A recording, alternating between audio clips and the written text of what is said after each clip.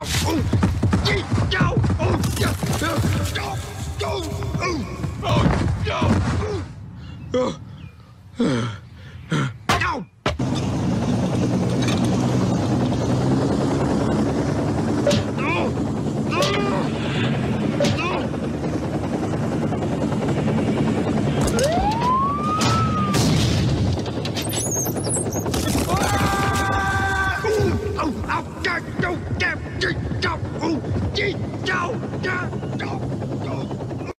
back to the Monday Morning Point Guard podcast. On today's episode, going to be continuing the eulogy series. The Indiana Pacers have officially been eliminated from the playoffs. So, going to be talking about their season as well as what they should do kind of moving forward, entering the off season and beyond. If you did enjoy the video, please be sure to like it as well as subscribe for weekly content. Also, the podcasts are now up on Spotify, uh, so you can listen to the full episode uninterrupted there. And if there's a spot you agree with, disagree with, either reach out to us on Twitter or in that comment section, and we'd love to discuss with you. When we started the year, I'm not sure anyone, even those who were kind of skeptical of this Pacers group, thought they were going to be one of the worst teams in the league, but here we are. So what went wrong this year? Well, the main reason the Pacers were are as bad as they are is they have just been completely devastated by injuries. And I hear what you're saying. Well, every team has had a ton of injuries. Guys have missed time with COVID. That's not exclusive to them. But I, I just don't think that people understand just how many games the core of this Pacers group has missed. So let's go through a few numbers to give that some context. Miles Turner has only played 42 games. Malcolm Brogdon 36, TJ McConnell 24, and TJ Warren 0. The top five Pacers in terms of games played in a Pacers jersey is as follows Oshae Brissett at number one, Chris Duarte, Torrey Craig, Justin Holiday, Domantas Sabonis. The number three through five guys on that list haven't played for the Pacers or even been on the team in over a month. And as of me doing the research for this, no one has played at least 60 games in a Pacers jersey. And even if everyone plays the rest of the way, no one will reach 70 games played in a Pacers jersey.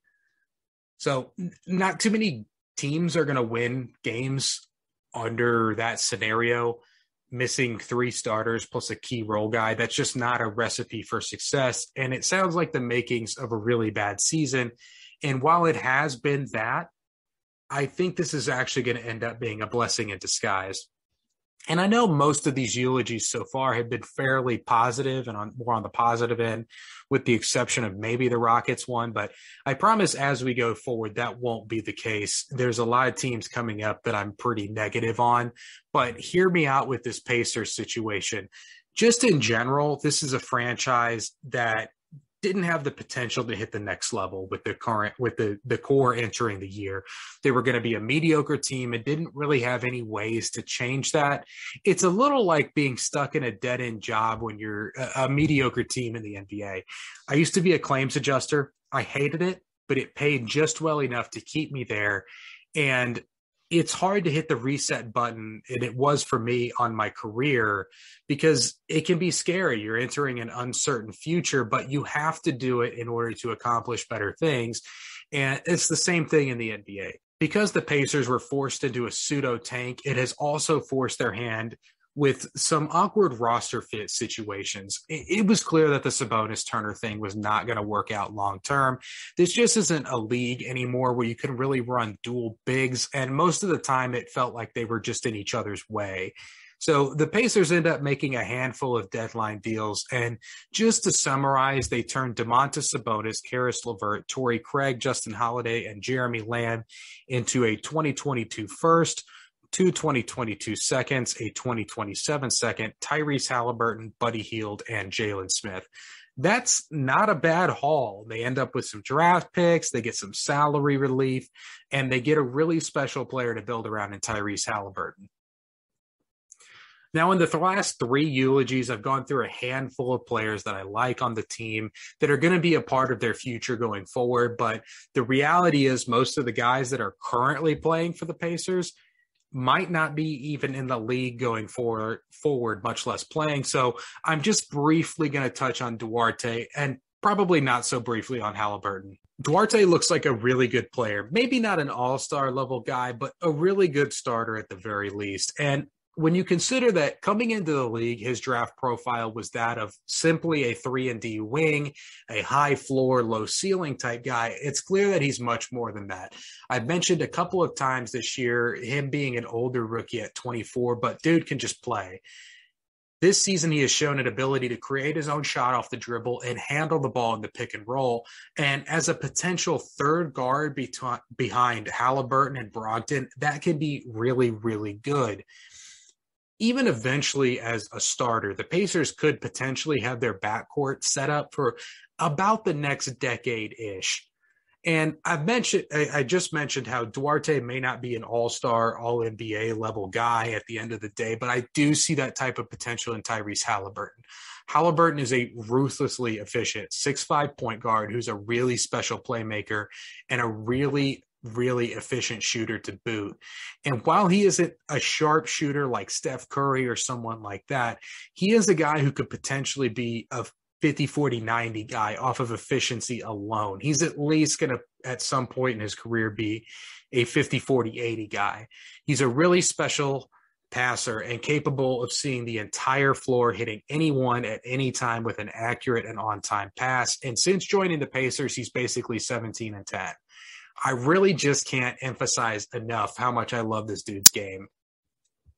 Also, since joining the Pacers, he's really been running the show in something that resembles the offenses we see the Mavs run with Luka or what we used to see the Rockets do with Harden.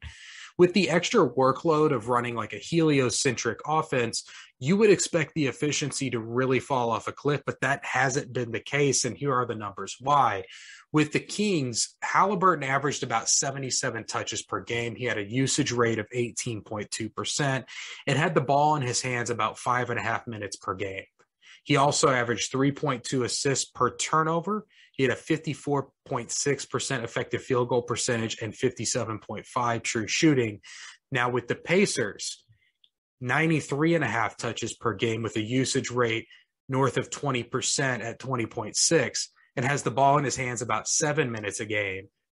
Now, the assist to turnovers are down to 2.7, but the effective field goal percentage is up to 57.6 and true shooting up to 61.1.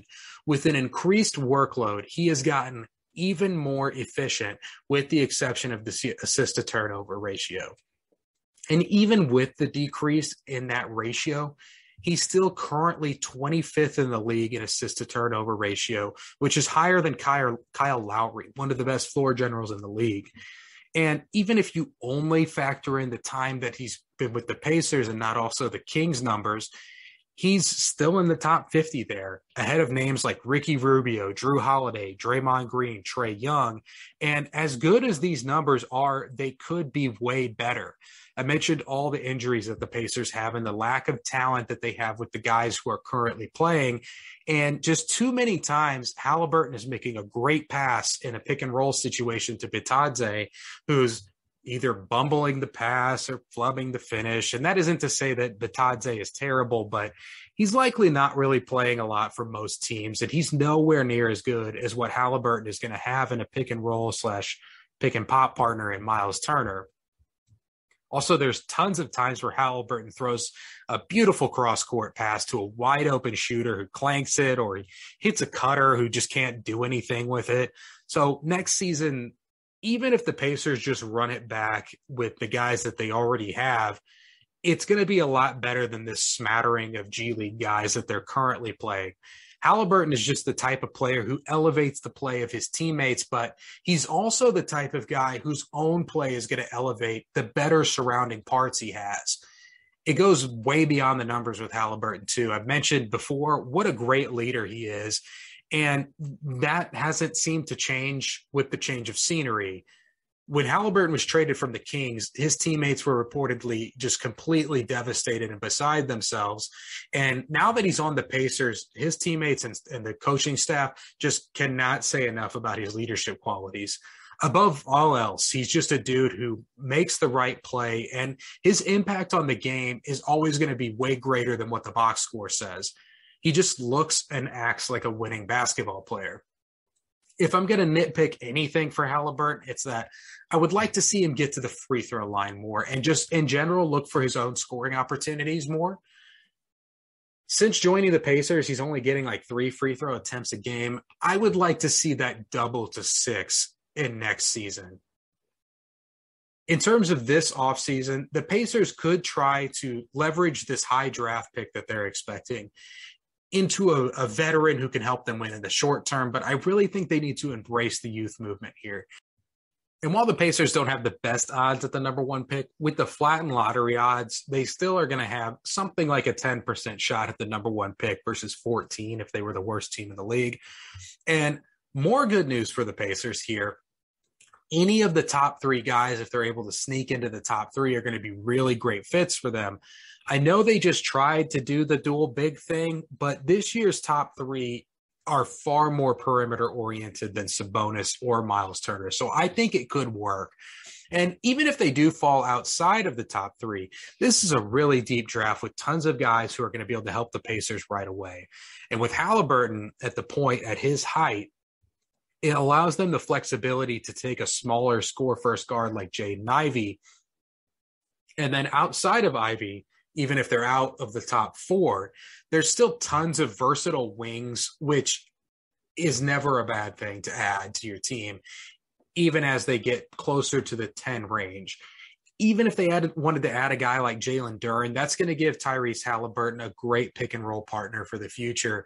Of course, if you end up taking him, I think you're likely having to move off of Miles Turner if they decide to go in that direction. And speaking of that, the Pacers are in a really interesting position with some of the guys currently on the team. They can either go into like a full on rebuild or run it back with a lot of the same guys who are two years removed from being the number four seed in the playoffs.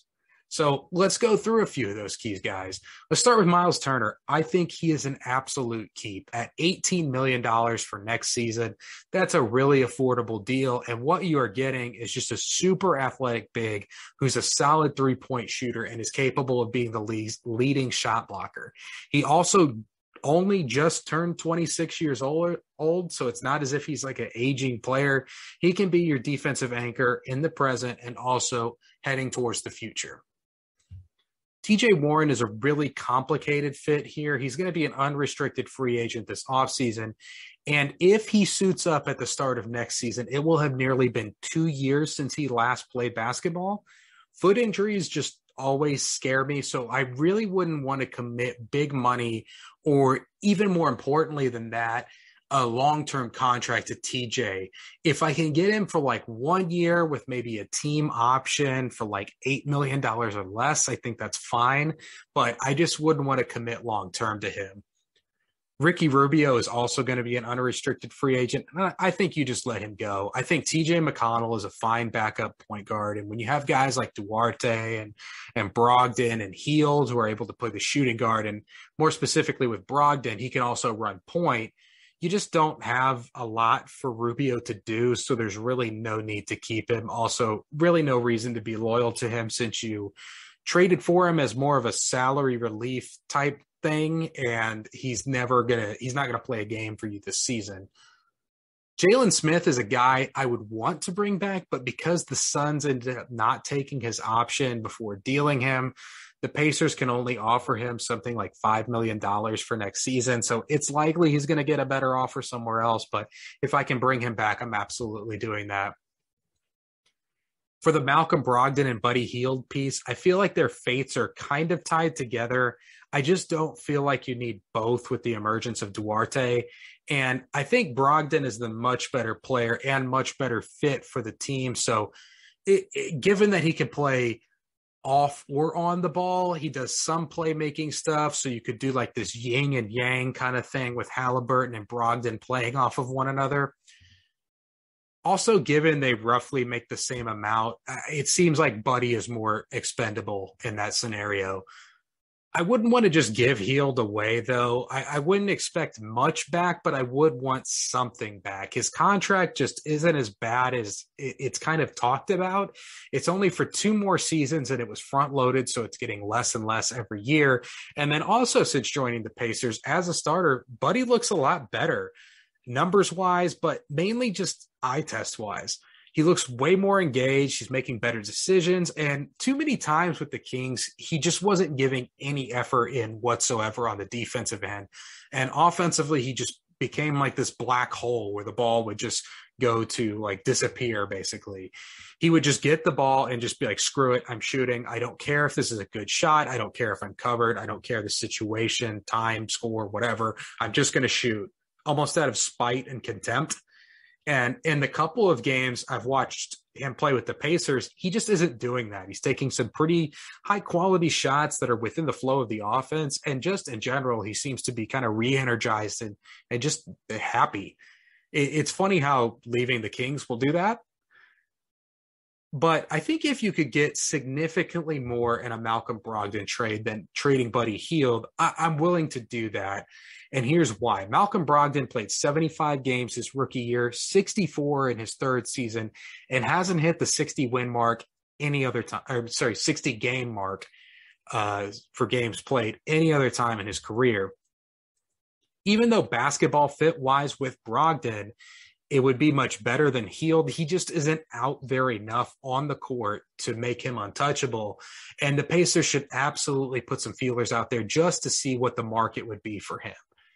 But I absolutely think the Pacers should be keeping one of either Brogdon or Hield.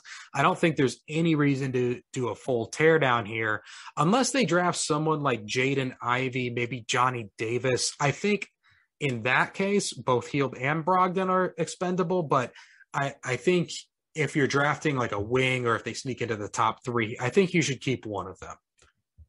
Free agency wise, the Pacers just aren't going to be in contention for your Bradley Beals, your James Hardens, those type of guys, but they can still round out the roster really effectively if they're smart. They're going to have about $32 million in cap room if they don't re-sign anybody. And, and what do they need? I think wings are going to be the name of the game for them. I like the guard situation here, regardless of whether they draft someone or not. And big wise, I think you would be fine with the Turner Jackson Bitadze situation. It's really just going to be getting players of quality who can play in that three to four spot. Sadly, though, this just isn't a strong free agency class for those wings or just a strong free agency class in general based on who I think is going to be re-signing, like guaranteed. Like I think Bradley Beal is probably resigning. James Harden's probably resigning. Kyrie Irving's resigning. Zach LaVine's probably resigning. So outside of those guys, like it looks on paper like a really good class, but those guys are all probably resigning. So Miles Bridges for the Hornets is a guy I would absolutely target if I'm the Pacers, but the Hornets are likely going to be matching any offer that he gets. Otto Porter Jr. is a guy that I would target though. Eh, for like a stretch four position. He's been solid throughout his career. And this season with the Warriors, he's shown he's still a really good role player. And the Warriors aren't going to likely want to pay him because they're already way into the luxury tax. So if you gave him like two to three eh, years, five to eight million, I, I think that would be fine. Kyle Anderson might be a guy the Grizzlies aren't interested in bringing back, so he could be a nice fit as well. And then, like to a lesser degree, talent wise, you've got guys like Nick Batum, Derrick Jones Jr., maybe Joe Ingles coming off of that injury, maybe Taurean Prince, James Johnson. I think all would be worth taking a look at sadly for the Pacers here, this is going to be one of the toughest positions to fill, but it should be aided by whatever they end up drafting, be it a top three pick or if they slide into the four spot or even into that five to 10 range, they're going to be able to grab something that's really going to help them. Overall, though, of the teams that aren't making the play in this year, this might be the team that is positioned best for the start of next season and going forward. Maybe you would like the OKC, situation better because of all the draft picks they have, but I think the Pacers are the clear number two on that list for sure. They're going to be able to grab something that really helps them in the draft. They have cap room, tradable contracts, and, and, and young players that they can build around. They basically still have the core of the team that made it as the fourth seed in the East two years ago, minus Sabonis and an injured Victor Oladipo, who you are replacing with Tyrese Haliburton and a top pick in this year's draft. I think that's a trade most teams would take. um, especially given the direction that Oladipo's career appears to be going in. And the Pacers are just positioned really well to make the playoffs next season, or at least the play in, and they still have room to grow and improve with a relatively young roster. If they play their cards right in free agency and, and with regards to the draft, they're going to be able to position themselves to make a really strong offer for the next next disgruntled star if they so choose all of the injuries and the bad season just came at the perfect time for them and it was a blessing in disguise. It forced them to move off of a few guys that were weird fits and it's going to let them retool with a young potential star point guard and a high draft pick and a deep draft while still holding on to the pieces that got them home court advantage in the first round of the playoffs just two years ago